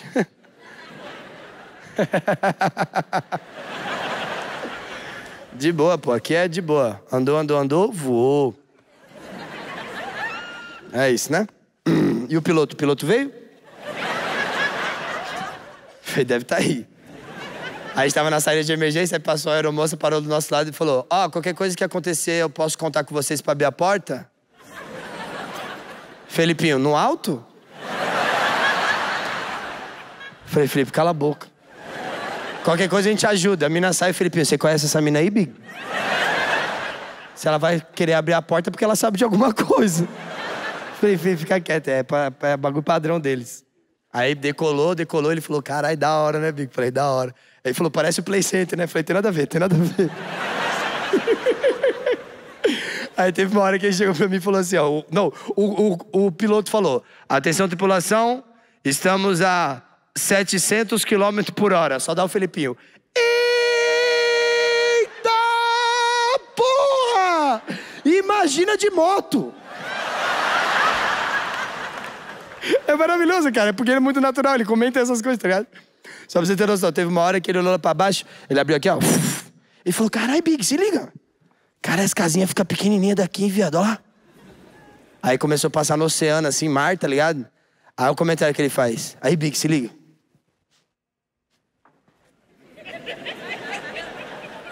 Dá pra morrer de sede, não. Olha o tanto de água, só filtrar. Olha ele, só filtrar. Aí do nada ele falou assim: Aí, Big, pode falar um bagulho?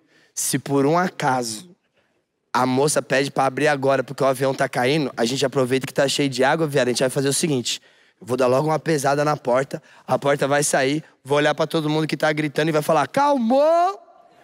Porque pro Felipinho, se o avião tá caindo ele fala calmou, as pessoas sentem e faz: não, demorou.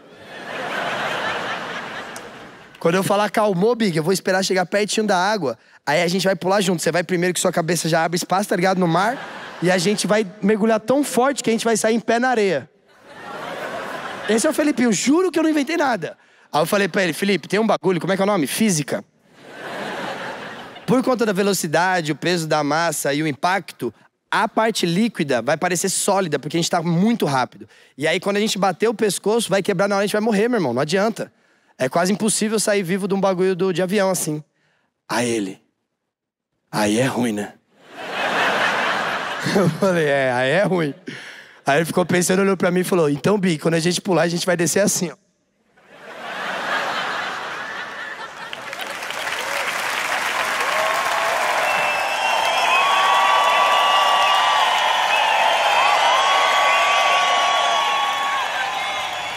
Olha só, Família, obviamente, eu vou falar da pessoa mais importante que eu mais amo nessa vida, minha filha Alicia, e vou falar um bagulho pra vocês, recomendo, viu? Tenham filhos, senhoras e senhores, é legal demais, eu amo ser pai. Quando eu falo também tenham filhos, não é no plural, né? Um só tá ótimo. Ah, Di, nasceu gêmeos, anuncia um deles, tá ligado? Devia ter um site, né? Um OL Filho, tá ligado? Desapega, desapega. Olha ele, filho. o pai do Afonso na capa do site assim.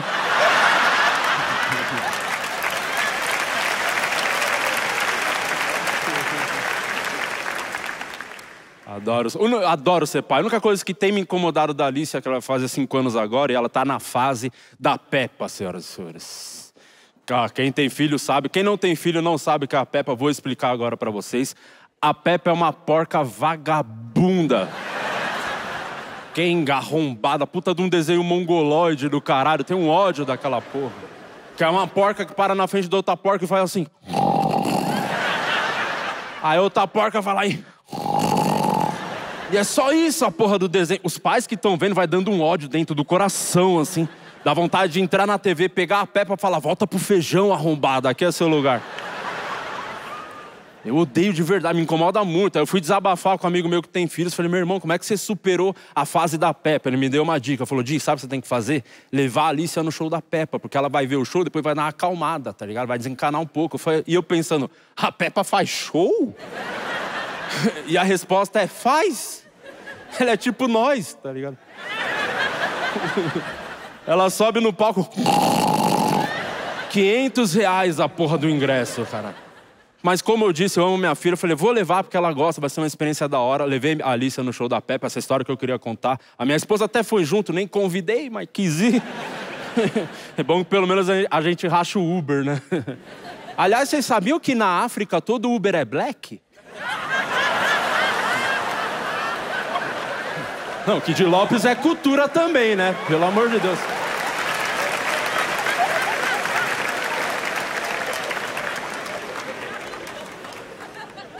Às vezes as pessoas olham só um babaca falando merda ali, não, traga ensinamentos. Mas enfim, show da Peppa.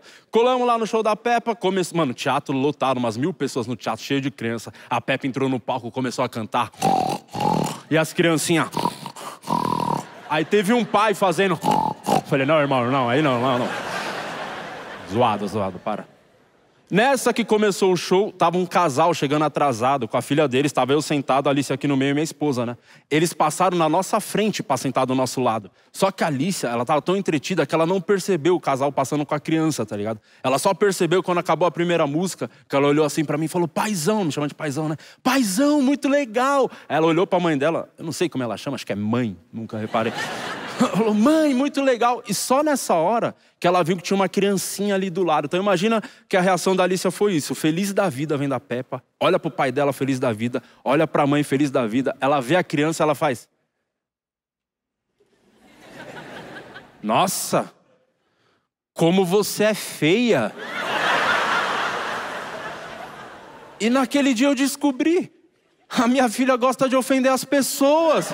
Onde é que ela está aprendendo esse tipo de. É a Pepa, eu disse que essa Pepa não prestava. Só que na hora que a Alicia falou isso, ficou um constrangimento no teatro. Sabe aquele silêncio assim de, de segundos que parecem horas? A mãe da menina não sabia o que fazer. Minha mulher com cara de gol contra.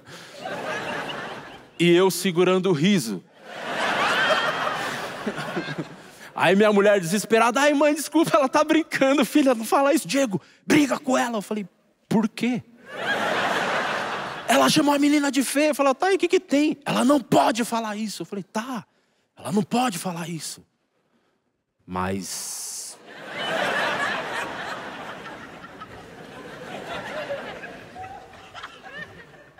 Essa criança é meio feinha mesmo. Só ela quis ter orelha, mano. Aquela mãe pariu o Marquito, você tem noção disso? Para de falar merda, briga com a sua filha que você fala de educação. Tá, mas você prefere o que a criança mal educada ou mentirosa? Não dá pra ter tudo. Falou, para de falar merda e briga com ela. Eu falei, tá bom. Alícia, filha, Alícia. Ela... Presta atenção no que eu vou te falar, tá, filha? Fiquei bem chateado agora. O que você fez agora, minha filha, foi muito feio. Ela, feio igual aquela menina? Eu falei, não exatamente sobre isso, minha filha. Você nunca, em hipótese alguma, pode chamar uma pessoa de feia. E a Alice, ela é tão desgraçadinha que ela sabe os momentos que ela vai se fuder, tá ligado? Ao invés dela reconhecer e pedir desculpa, não, o que, que ela faz? Te joga junto pro buraco. É tipo macarrão e goleiro Bruno, unidos até o final, tá ligado? Porque ela poderia ter falado qualquer coisa. Ela olha para mim e fala: Mas paizão, você chama a vovó de feia? E minha mulher está chamando minha mãe de feia. Eu falei: Foca na criança, aquela que está ofendendo os outros.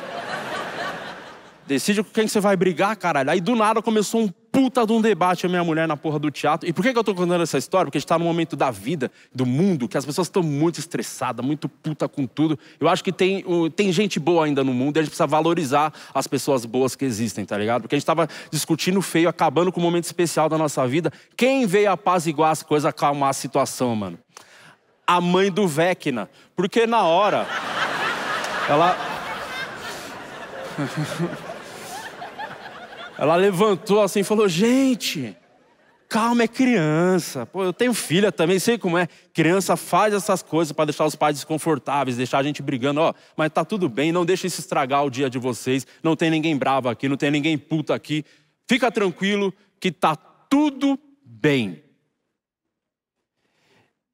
E esse foi o erro daquela mulher. Porque até então, a Alicia só tinha visto a filha. Na hora que essa mulher me levanta, que ela veio na direção, a Alicia fez: Eita porra!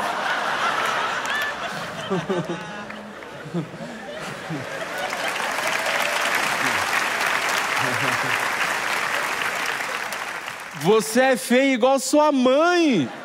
Minha mulher, pelo amor de Deus, Diego, cala a boca da sua filha. Eu fiquei, cala a boca. Vou tirar essa criança daqui. Na hora que ela vê o pai, fudeu, cara. Muito obrigado, senhoras e senhores. Nós somos os quatro amigos. Essa foi a fila de piada.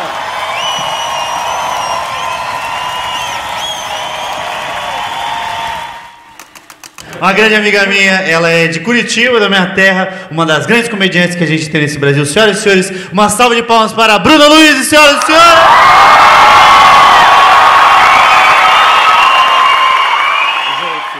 Vocês acreditam que eu fiquei tão empolgada com esse convite da fila de piadas que eu não lembro nem quem fez o convite. Eu só lembro de ficar muito tensa, assim, porque é, a minha carreira era muito diferente do que é hoje. Essa fila eu participei há quatro anos atrás, era um momento muito diferente. Pra vocês terem uma ideia, é, naquela época, o Di vendia mais ingressos que eu. Mentira, isso nunca aconteceu. claro que não. Mas é, eu estava realmente na minha retomada da carreira, assim, então foi muito importante para esse meu crescimento na época, esse convite. Eu fiquei muito tensa e muito feliz ao mesmo tempo, muito nervosa é, e muito ansiosa. Tanto que eles me deram um tema e eu fiquei testando piada sobre esse tema, que era moda.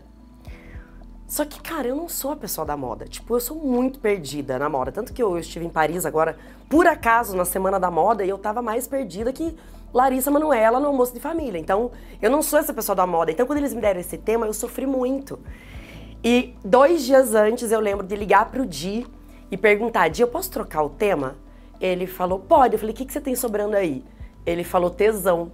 Eu falei: então é isso. Já tem aí essa fama de que só fala putaria, então vamos confirmar essa porra.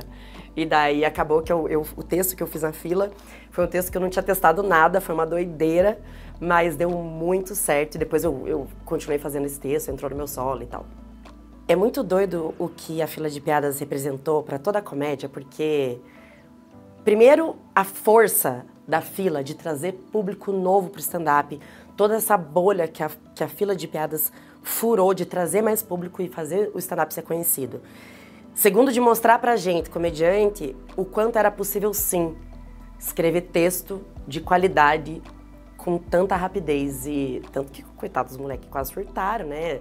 os meninos perderam o cabelo e tal, mas foi impressionante assim o volume e a qualidade do trabalho deles. Então, pra gente, comediante, foi muito importante ter quatro humoristas tão bons conseguindo produzir tanto conteúdo toda semana com tanta qualidade. E Quatro Amigos foi o que eu falei justamente da fila. Quatro Amigos é talvez seja uh, o produto mais famoso do stand-up hoje. Então trouxe sim um público novo, diferente para dentro do teatro e isso respinga para a comédia inteira. Então, a gente comediante, a gente só tem a agradecer, e é por isso que a gente gosta tanto dos meninos. Só por isso também, porque eles, eles assim, individualmente, chato pra caralho, mas eles enquanto grupo deu muito certo. Posso falar só mais uma coisa? Quatro Amigos é o seguinte, ó, tá voltando a fila de piadas, me convida de novo. Agora, quatro anos depois, vamos escrever aquele texto de moda que eu deixei passar? Hoje eu tenho outra visão, menino. Hoje eu compro tudo na Shein. Hoje eu entendo de moda chinesa. Vamos fazer?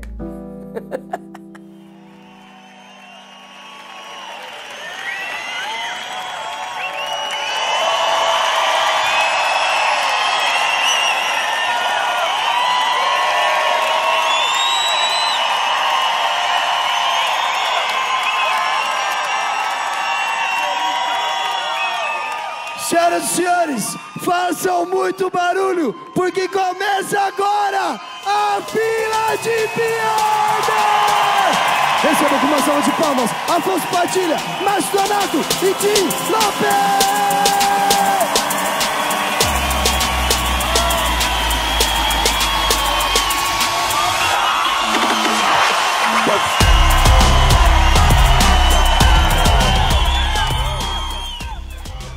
Excelente, coisa boa.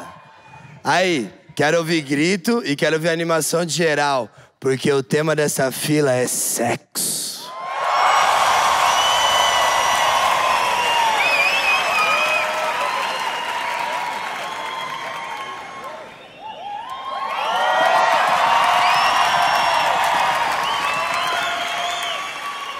sei que vocês devem estar pensando, não faz sentido ele começar com esse tema.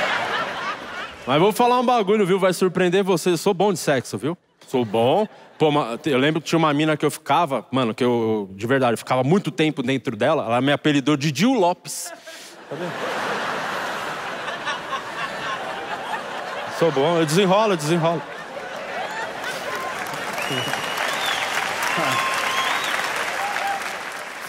Falar um bagulho pra vocês. É, eu vou, vou ser sincero, aproveitar que esse é o tema. Eu tô com inveja do meu, dos meus colegas aqui de quatro anos. Eu tenho inveja deles. Quando eu falo que eu tenho inveja deles, é mais, né, o Afonso e o Ventura. O Márcio. Não, adoro o Márcio. Inclusive é meu preferido dos três. Só que o Márcio agora, como vocês sabem, vai casar, ou seja, morreu de, definitivamente. Perdemos o Márcio Donato, senhoras e senhores. Muito triste. E para surpresa de todos, vai casar com uma mulher. A gente falou, meu. Me incomoda, eu, vou, vou, falar real, eu não tô nem aí pros caras ser solteiro ou não, mas o problema é que eles são solteiros, desenfreados, eles perderam a mão. Os dois perderam a mão, Ventura e Afonso perderam as mãos, e tá, já, tá, já tá zoado ficar nesse camarim, tá nesse ponto. Eu vou, eu vou contar uma história que quem recentemente viu Quatro Amigos em podcast por aí, vai saber que história é essa, mas dessa vez eu vou contar a versão verdadeira que não foi dita nos podcasts. Estávamos em Belo Horizonte, camarim, todo mundo sentado, tranquilão. Ventura chega no camarim, encosta assim no sofá, fala com a gente, rapaziada, tô achando o nosso camarim meio, sabe, pra baixo, tá ligado? Tá devagar, precisava ser mais agitado. Aí o Afonso falou, pô, será que você acha que precisa ser mais agitado porque você acabou de fumar 30 quilos de maconha?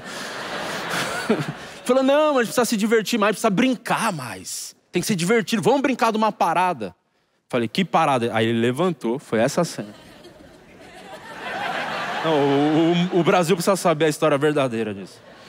Não, eu vou contar, vou contar. Eu não aguento mais, me, me incomoda, me incomoda. Tá me incomodando de verdade. Eu, eu, fico bem chateado com o que acontece. Dá licença, eu vou falar. Não, me incomoda, Márcio, eu vou contar. Não vai falar nada pra ele? Ó, o que aconteceu foi o seguinte. É, é, você tá ligado. Ele levantou, foi até a mesa, pegou um pão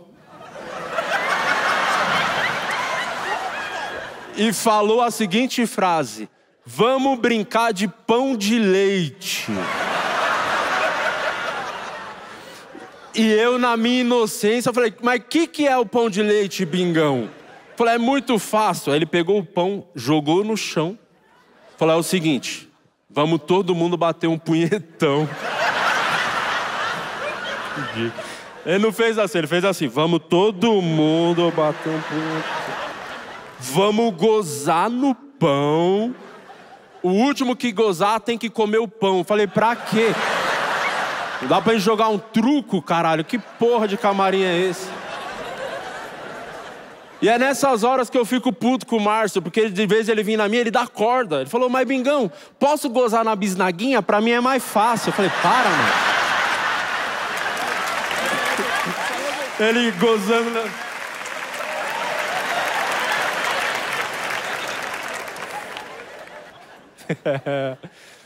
Ai, cara.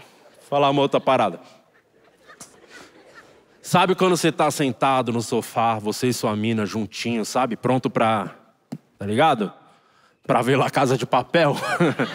Era eu e minha mina esse dia e foi surpreendente que ela tava vendo a série, tava assistindo e gostando. Porque já me surpreendeu muito, a gente vai ver filme e série, ela sempre dorme, né? Só que ela tava gostando, assistindo, eu pensando, caramba, ela tá feliz? Vou pegar na teta dessa mina só pra ver qual é. Porque eu nunca soube o time ideal de se pegar numa teta, sabia?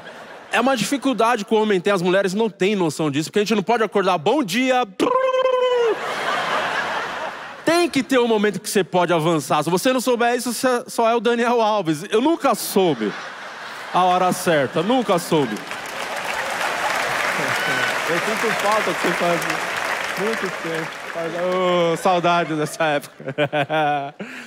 Ai, cara. Aí eu, eu fico tentando dar as indiretas, tá ligado? Fico.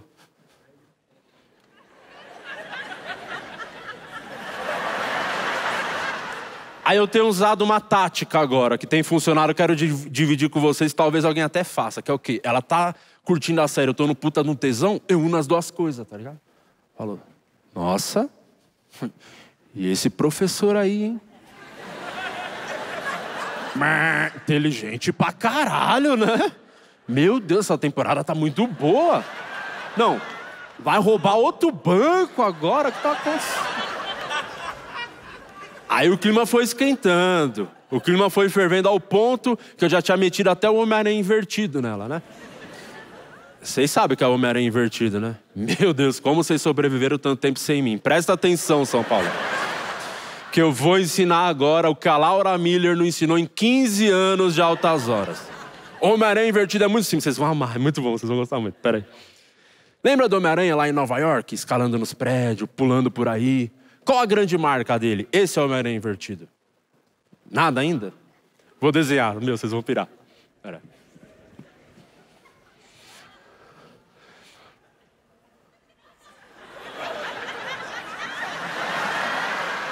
Invertido.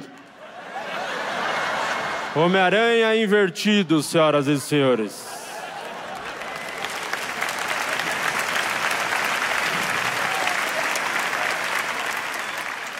E o mais legal dessa piada, pode reparar, quem não aplaudiu essa piada é porque nesse exato momento tá fazendo o Homem-Aranha invertido em alguém.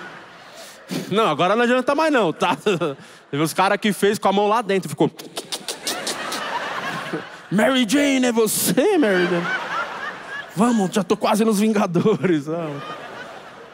Esse nome é perfeito, Homem-Aranha Invertido, e tem muito mais sentido, inclusive levem para a vida de vocês esse nome. E tem muito mais sentido se você for casado, sabia? Porque tem até teia no bagulho.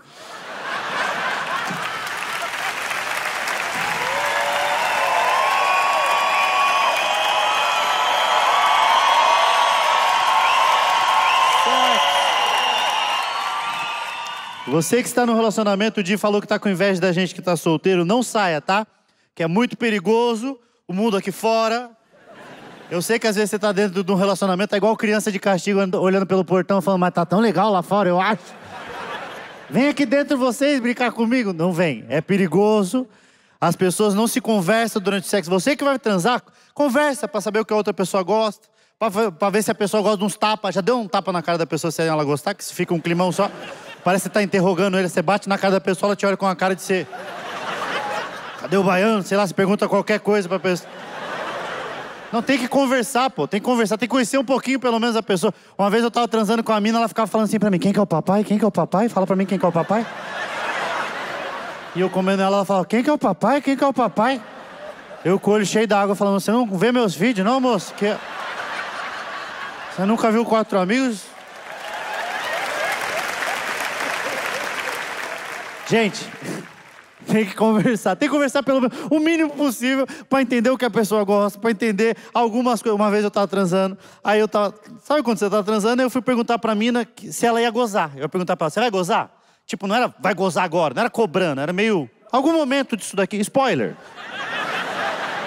Vai acontecer? Então eu tava tipo uns 13 minutos ali, pá. E aí eu. Uns 13, uns 13. E eu tava uns. Calma. O que? Não, calma. Mulheres, 13 é pouco ou é muito? 13? Pouco, pouco. Homens, 13 é pouco. Os caras, passou de 3 minutos, é podcast. Eu tava, eu tava uns 13, mas não tava uns 13. Ah! Não, tava. What you do? What you do? Tava Bruno Mars, eu tava. Eu tava. cadenciado, eu tava cadenciado. E aí eu fui perguntar pra ela se ela ia gozar. E eu queria saber, tipo, vai gozar? Não era um vai gozar agora. É tipo, vai gozar? Aí a resposta que eu esperava era, vou, é, vai mais rápido que eu gozo, me bate que eu gozo, vamos trocar de posição que eu gozo, hoje não, faro, sei lá, qualquer resposta. Mas nada me preparou para a resposta que ela deu. Eu perguntei, vai gozar? Ela fez, qual o teu signo?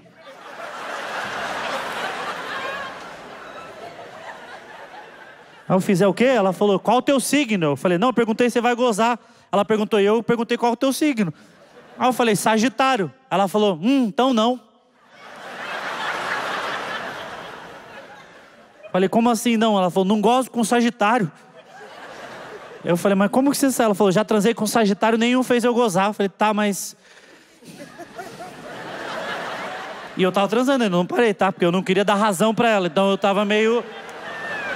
Ah, eu fiquei curioso, falei, qual o signo que você gosta? Ela falou, aquário me chupando. Eu falei, tá.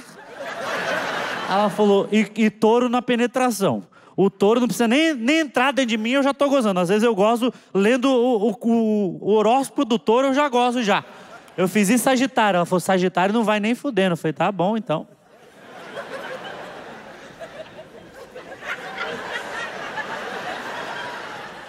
Falei, sabia que meu ascendente é touro? Eu não, eu não sabia o que falar. Tem que conversar, pô. Tem que conversar, porque às vezes a, acontece coisa com a pessoa que você não sabe o que vai acontecer. Uma vez eu, eu tava quase indo transar, a mina fez: Ó, oh, fica tranquilo, que às vezes quando eu gosto eu desmaio. Falei, o que, moça? Ela falou, eu gosto quando eu desmaio, mas fica tranquilo. Eu falei, não tem como falar gozo e desmaio e fala, ficar tranquilo na sequência. Ela falou, não, eu gosto e desmaio. Eu falei, mas cai a chave, tipo ligar dois chuveiros dentro de você? Encostou os fios de dentro das, das trompas e, pum, e apaga igual um bonecão do posto, vai caindo quando tira da tomada. Como é que. Ela falou, é, eu apago. E eu falei, mas volta, às vezes eu volto, às vezes apago. Falei, já viram aquele, aquele vídeo da pessoa andando de montanha-russa, que ela vai subindo, subindo, e quando ela começa a descer, e apaga. Aí no meio da montanha-russa ela acorda e fala, e apaga de novo. Eu, eu falei, mas como assim você apaga? Ela falou, não, eu apago, mas pode continuar. Eu falei, não, isso aí. Deve ser até crime isso daí, moço. Como é que eu vou continuar? A partir de quantos minutos começa a contar como crime? Tipo, quatro eu tô, falando, ih, acho que ela não vai voltar. Não. Como é que. Como é que... E se vem a polícia? Como é que eu vou explicar pra polícia o que aconteceu com aquilo dali? Ela cheia de marca minha no corpo, eu bati nela, que ela pediu. Morto o policial. O que, que aconteceu aqui? Falou, não, matei ela de gozar. Falei, ah. Olha o pica das galáxias veio, o duro de matar. Ela falou, não, mas pode ir. falei, tá bom, eu vou. Mas fui preocupado. Nunca transei tão preocupado assim de. Mano, essa mina vai desmaiar a qualquer momento aqui. Eu não sei nem fazer aquele um, dois, três, respiro. Eu não sei nem fazer o. Socando um fofo, parecia dois hamsters transando assim, ó. Fofinho, assim, ó. Fica comigo, fica comigo. Não vai pra luz, não vai pra luz. Deu sete minutos eu pensando, mano, devia ter feito pelo menos um termo de responsabilidade que ela. Transando com ela, deu 12 minutos. Eu falo, mano, ela vai apagar a qualquer momento. A qualquer momento ela vai apagar. Deu 14 minutos, falei, vai apagar a qualquer momento. Deu 15 minutos, eu pensei, mas também se ela não apagar, vai ficar feio pra mim. se ela não apaga, o errado sou eu. E aí eu comecei a tentar apagar ela. Eu falei, vai apagar, você vai apagar. Você não vai sair acordado daqui. Deu 20 minutos e falar, apaga desgraçada. Você tomou Red Bull, fila da puta. Deu 25 minutos eu com o travesseiro na cara dela, apaga, apaga. Deu 30 minutos, quem apagou fui eu.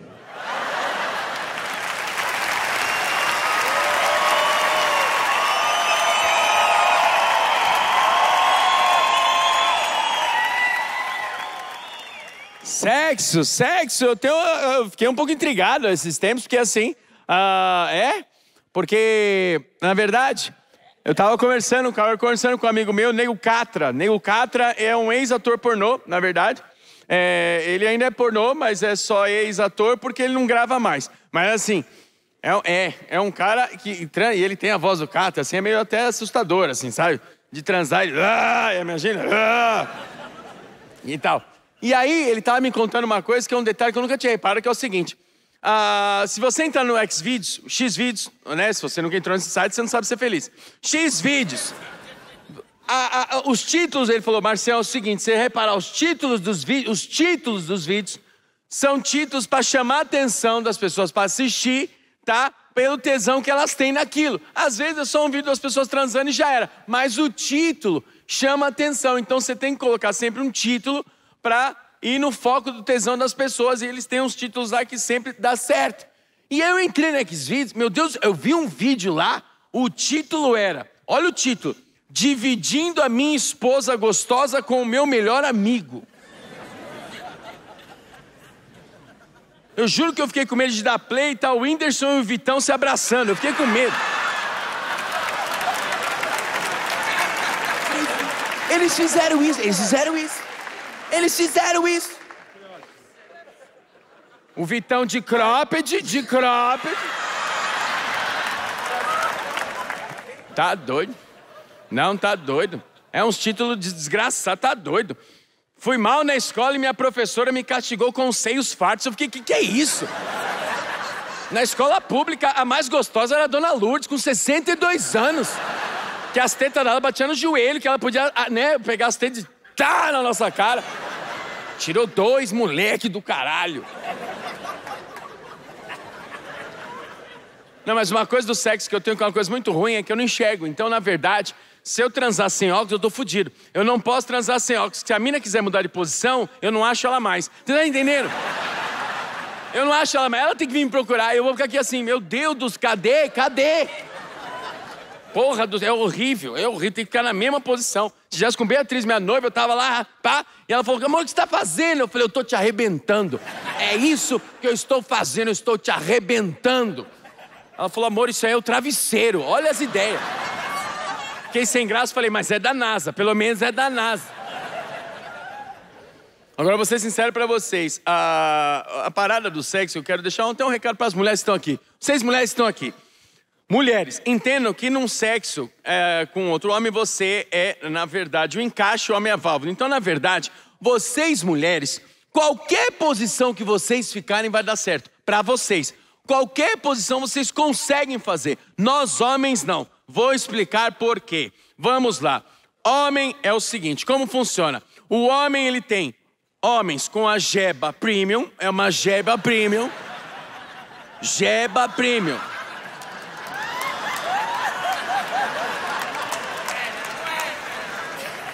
Jeba premium.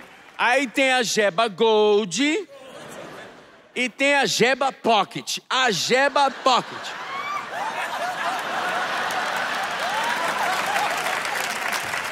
Tá entendendo? Tem porque assim, para, tem umas eu vou, vou explicar. Nós aqui no Contramentes, olha, estatisticamente, se você olhar para nós quatro, dá para entender que eu, obviamente, por ter 1,70m, que. É, porra, tô aí no, no, no time da, da, né? Eu tô. E não precisa nem ser estatística. Eu, obviamente, posso falar em nome de nós quatro que eu já vi. E eu sei que é, tá? Porque no dia do pão de leite, eu vou explicar, vamos lá, eu vou explicar. No dia do pão de leite, nós fomos, tava, o Thiago jogou, o Thiago jogou, o Thiago, o Thiago comeu pão. O Thiago comeu pão. Demorou, porque ele ficou constrangido, aí ele demorou, foi ele. Meu Deus do céu, constrangimento. Nossa, gente, o Alex medindo. O Alex, o Alex, nosso produtor, ele veio com uma régua de vereador de 20 centímetros e foi medindo. Porque o Alex, ele, nosso produtor, é delicado. Ele veio, gente, pera, vamos medir e tal. Eu falei, que constrangimento. Cara, e, e aí gente, eu tenho intimidade com os caras, eu sei. O Afonso, um cabeçaço. Nossa, uma jeba com uma cabeça que a gente apelidou de Venturinha. É o Venturinha. É. Fala lá, Afonso, lá, lá usar o Venturinha. E é, é isso, é esse clima que está no grupo. Que é uma posição que não dá. Mulheres, vamos lá, quero que vocês entendam. Tem duas posições que não dá. A primeira é essa: o cara está deitado aqui, deitado, a cabeça do cara está aqui. Aqui está o pocket, tá? O pocket é o pocket é uma, é uma versão que é só canal aberto, não pega todas as coisas. O Gold e o Premium, o Premium pega tudo. O Gold vai na e o Pocket é bem é na manha. O Pocket tá aqui o Pocket. Tá firme, tá duraço, mas é pocket. Aí vocês inventam de falar, ah, eu vou mostrar, eu vou me dedicar. Aí o cara aqui, tu tá, aí tu, tu vira a cabeça do cara, tu tem que fazer isso aqui. E vai arrebentando, e aí quer subir, quer fazer isso. Não dá. Desencaixa. Sabe aquelas tomadas que tá velha, e você põe o carregador e, e o celular não carrega?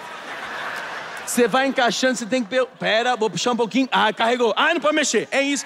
Porque a mina tem que ficar encaixando. Ah, cara, ah, cara. E a gente constrangido ali deitado falando, muda aí, pô, muda aí. Muda. Essa é a primeira, essa não dá. E a de ladinho, esquece a de ladinho. Pegou o pó, viu? É pocket, de ladinho não dá. Não dá, porque a gente que tem o pocket, a gente tem que entrar na cama como se fosse um mecânico entrando embaixo do carro, sabe?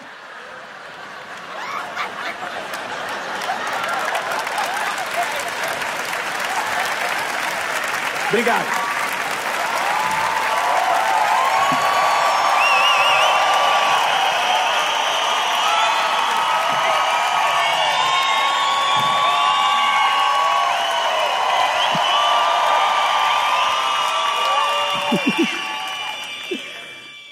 Rapaziada, vou falar salve, vocês me dão um salve. Salve, meus irmãos!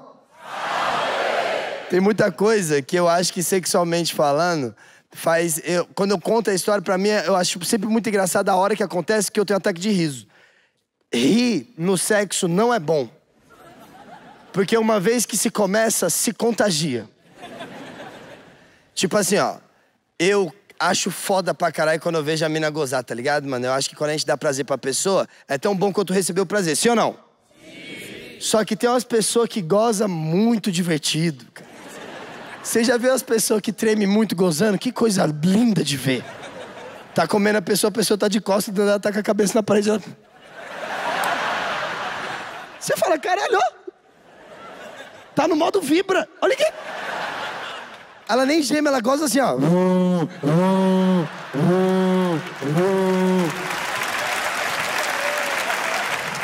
Eu gosto, eu gosto das pessoas que tremem deitada. Isso eu gosto demais que você tá transando de lado e do nada a pessoa fala assim, ai, ai, que parece que você tá comendo uma tilápia, tá ligado?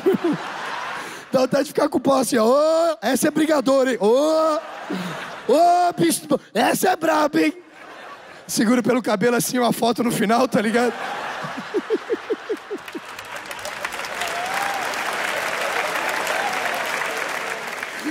tá vindo, bicho? Pesque companhia.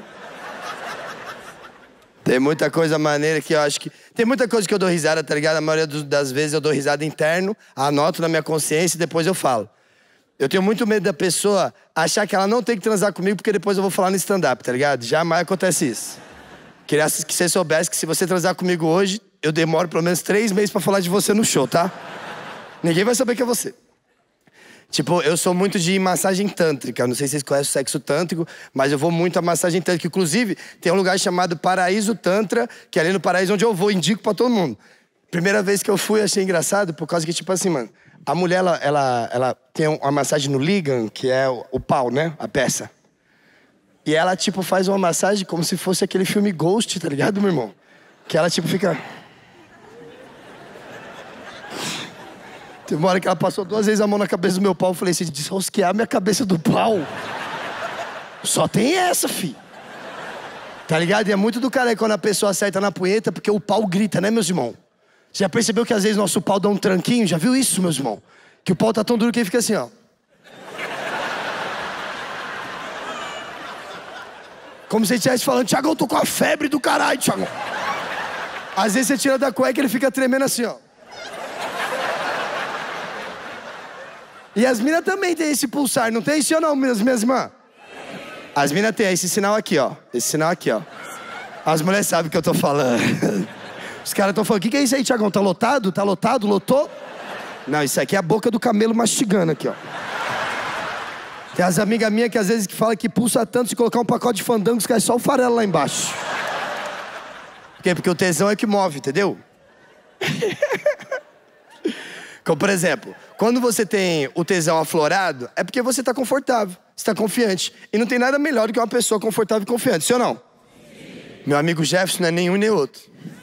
Tanto que para conversar com as minas, ele, ele senta do meu lado e fala, viado, você acha que tá indo bem? Você acha que. Eu falo, não, vai no seu fluxo aí, se falar alguma besteira, eu te aviso. Aí tá conversando com a mina do Tinder. A mina do Tinder falou assim: que Tinder tá todo mundo lá pra transar, todo mundo sabe disso. Aí Tinder, a mina falou do Tinder: Oi, adorei suas fotos. Aí Jefferson. Adorei suas fotos também. Falei, boa, Jefferson. Aí ela, tô em casa hoje, vai fazer alguma coisa? Ele falou, também tô em casa. Falei, boa, Jefferson. Aí a mina, vamos se ver? Aí o Jefferson, quer jantar? Aí a mina, queria fuder. Aí o Jefferson falou, o que que é isso? Eu falei, o que que é isso? O que que é isso, Bé? Ô, Jefferson. Pelo amor de Deus, tá ótimo. Aí ele falou, vou na tua casa então. Aí a mina, ótimo. Jefferson, vamos transar gostoso, né? Aí o Jefferson mandou um diabinho. Falei, aê, Jefferson. Aí do nada a mina, Jefferson, por quantas horas que você vai me comer? Se você é calmo, você escreve, você disse horas? Jefferson nervoso falou oito. Falei, o que, que foi, Jefferson? O que, que foi, Jefferson? Ele falou, é, ó, oito horas de rola. Falei, Jefferson. Até no trabalho tem uma hora de almoço, pelo amor de Deus. Oito horas de rola vai desidratar a menina. Aí a menina, como é que você vai me comer hoje, Jefferson? Ó, o Jefferson, eu vou te rodar na rola. Eu falei, o que, que foi, Jefferson? Aí ele falou, é, você acha ruim? Eu falei, claro, é uma mina, não é um Beyblade. Sempre é bom a gente compartilhar de experiências para que a gente tenha vivência e tenha mais calma nos bagulho. Como por exemplo, esses dias no Instagram eu falei bastante sobre ficar de quatro, sim ou não? E aí muitas minas me mandando mensagem, aí teve uma mina que foi um pouquinho mais ousada, que ela mandou uma mensagem falando assim: adorei o seu conteúdo, queria ir na tua casa para que você veja minha versão de quatro. Achei muito audacioso, não sou o cara muito fácil. Respondi: Acho que tô apaixonado por você. Minhas irmãs, com todo respeito a vocês que estão na plateia e já ficaram de quatro. Mas se você se garante, parabéns, porque aquela mulher tem faculdade. Minhas irmãs, ela leu o Kama Sutra e gabaritou. Eu vou te falar como é que ela ficou de quatro. E meus irmãos, eu vou falar como é que eu me senti. Ela ficou de quatro assim, ó. Ela colocou a cabeça no colchão. E com a cabeça no colchão, ela olhou para mim. Que se eu tô com uma água benta e um terço, eu já logo meto aqui, ó. Sai, diabo! Eu tento fazer alguma coisa. Calma! Aí ela tá com a cabeça olhando para mim, esquisitíssimo. Ela, aí o cu veio na lâmpada. Que pra eu meter eu tinha que subir e escalar. Se eu tivesse um skatezinho de dedo, eu ia falar, vai caralho! aí, cu na lâmpada, aí ela pegou, inclusive mulheres, se você faz isso, nossa, parabéns. Toda vez que vocês fazem isso, um homem chora. Que é quando vocês estão de quatro, vocês colocam a mão assim na bunda, colocam a outra mão na bunda, e aí vocês abrem. Tá ligado, meus irmãos? Porra, é que nem ver um Pokémon evoluir, mano. Você fica. Você fica feliz pra caralho. Sabe quando faz assim, ó? Quando ela fez isso, ela falou: agora mete. Naquele momento, eu tive duas conclusões. A segunda foi: se ela tá se dedicando, eu vou me dedicar o dobro, porque eu quero que essa mulher goze pra caralho, porque eu quero novamente ver essa mina. Esse foi o segundo pensamento. Porque o primeiro, eu tenho todos, todos, assim, ó, a certeza do planeta que todos os homens aqui vão concordar. Ela tava tão bonita de quarto, que a primeira coisa que eu pensei foi: Caralho. Queria que os moleques estivessem aqui. Muito obrigado, senhoras e senhores. Essa foi a fila de piadas. Faz barulho, São Paulo! Mais barulho, senhoras e senhores, mais barulho. Vocês acabaram de participar de um bagulho histórico na nossa vida. Muito obrigado, meus amigos. Muito obrigado, muito obrigado. Três da manhã e vocês aqui aplaudindo e dando risada de comédia. Muito obrigado, senhoras e senhores. Muito obrigado. De verdade, que foda. Muito obrigado mesmo. Alô, você que assistiu esse especial maravilhoso do Quatro Amigos Três com três filas de piadas. Conta pra eles, Marcos. Deixa eu falar um negócio pra vocês. O quadro voltou. Voltou no nosso show, comemorando 10 anos de Dez Quatro Amigos. anos de Quatro 10 Amigos. anos de Quatro Amigos. Ah, então eu vou juntar meus amigos pra assistir em casa. Não, não estará na sua casa. Estará no, No teatro. show, ao Sua vivo. cidade. Ao vivo, todas as segundas-feiras no Teatro Bradesco aqui em São Paulo. E se Sim. você é fora de São Paulo, dá uma olhadinha na agenda que tá nesse link aqui embaixo e clica e vai nos assistir, porque fora de São Paulo, provavelmente a gente vai Brasil só e uma vez. Tem que falar isso, é, uma vez por ano, tá ligado? Teremos- Então vai. E, te- e Portugal também. Então, Brasil e Portugal. Então não dá mole. Clica nesse link. Mas é tipo o vai. do stand-up. Voltamos, né? Exato. Quatro amigos e fila de piada, só ao vivo. Se não, você não for, você tá tirando. Então não fica de fora da turnê 2024, especial 10 anos de Quatro Amigos. É é turnê E teve comemorativa. gente que não acreditou que ia Volta chegar a 10 da anos, fila tá? e como é turnê comemorativa 10 anos, vai ter surpresa pra quem Fila, for no show também. Então encosta. show de prêmios, esquece. vai ter sorteios Carne. e alegria. Tudo. Telecena. Não dá mole. Clica. E deixa a curtida no especial. E se inscreve no Comenta. canal. You on my mind a lot. Don't need no time watch. I don't know how I got you in my pocket spot. Yeah, that's babe. Need you every day. You like my oxygen. Make it seem like the barging down. Got my heart no barging in. From the bed to the floor to the couch. Might wake the neighbors up. Break you in and break you out. In the end, we gon' make a child. Then we gon' hit the show. Part two, we don't need no pause. You with Misty, we gon' get tipsy. Don't need a power shot. Copy my steel. Face the fact that ain't no cap, I'm real. Ain't no cap, I'm real. The plastic bars tryna copy my steel. Copy my steel. Face the fact that ain't no cap, I'm real. Ain't no cap, I'm real. The plastic bars tryna copy my steel. Got my heart no roll in a bed. Break you in, then. Get us every day. Got my heart, no. Heart, no, in a bed.